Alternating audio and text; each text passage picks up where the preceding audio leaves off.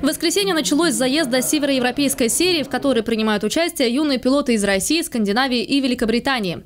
В итоге первое место у финна Ника Карри, второе третье места у Алексея Корнеева и Владимира Тоева. Зато следующий заезд вывел в призеры исключительно российских пилотов. Первый Алексей Корнеев, второй Никита Троицкий третий Нарсес Исаакян. Гоночную программу российской серии кольцевых гонок открыли пилоты чемпионского зачета Туринг Лайт.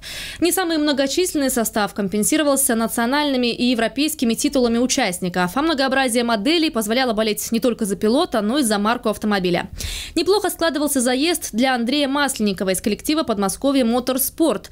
Но после возобновления гонки ее прервали для эвакуации разбитого автомобиля. Ford Fiesta Масленникова сразу обошел Андрей Радошнов на Kia Rio из команды Оренбург Racing. Он и стал победителем гонки. Масленников так и остался на второй позиции, а на третье место прорвался Ильдар Рахматулин на Renault Twingo.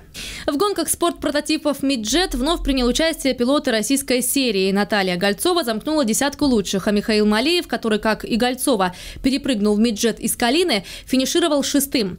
Призерами второй гонки стали постоянные участники серии Дэвид Маркозов, Юрий Байбородов и Владимир Черчиян. Украшением этого дня стали гонки международного чемпионата TCI International Series. Во время первого заезда участники осторожничали. Сочи автодром хорошо знаком только действующему чемпиону гонок Михаилу Грачеву, который, впрочем, довольствовался на этот раз лишь шестой позицией, пропустив на пятую соотечественника Сергея Афанасьева. Зато во второй гонке Грачев взял блестящий старт, умчавшись с пятого места на лидирующую позицию. По ходу гонки его все же смогли пройти Стефана Камени и Пепе Ариола, занявшие занявшие первое и второе места соответственно. Сергей Афанасьев закончил гонку в шаге от призов на четвертом месте.